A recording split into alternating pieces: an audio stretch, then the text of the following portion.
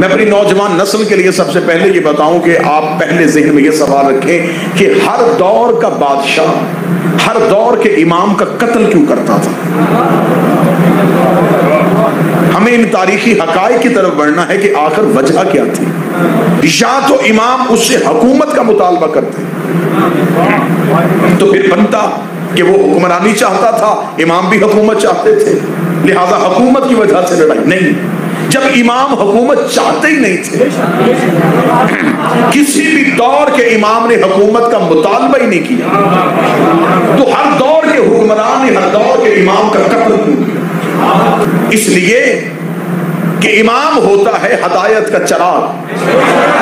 अगर ये चराग जलता रहता तो चेहरे साफ़ दिखाई देते।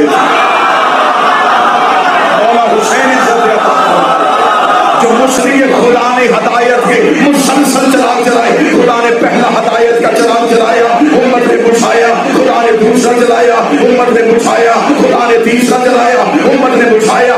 ग्यारह चराग हदायत के खुदा ने इस उम्मत के दरमियान चलाए, इसने बार बार बुझाए खुदा ने कहा तुम इस काबिल ही नहीं हो कि मैं अपनी हदायत का चराग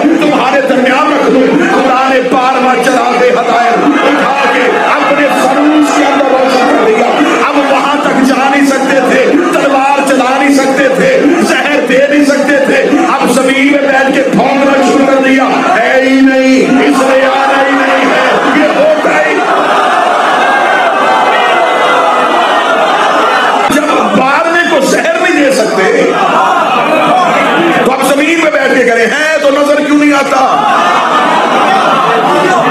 अब छत्तीस मुल्कों की फौज इकट्ठी कर। चाहे सारी दुनिया की फौज इकट्ठी कर। ये बारहवें का जहूर रोकने की तैयारी कर रहे हैं। इसलिए तो मीर मोहम्मद से कहा था, फरूस बन के जिसकी हिफाजत हवा करे वो शम्मा क्या पूछे जिसे रोशन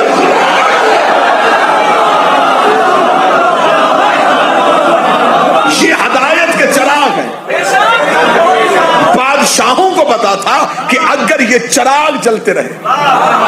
हमारे किरदार नज़र आएँगे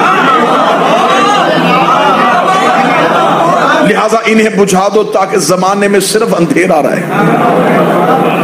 जब इनके चराग जल जाते थे तो फिर लोग इनका किरदार देख के बादशाह से पूछते थे कि अगर ये मौजूद हैं तो तू तख्त पे क्यों बैठा?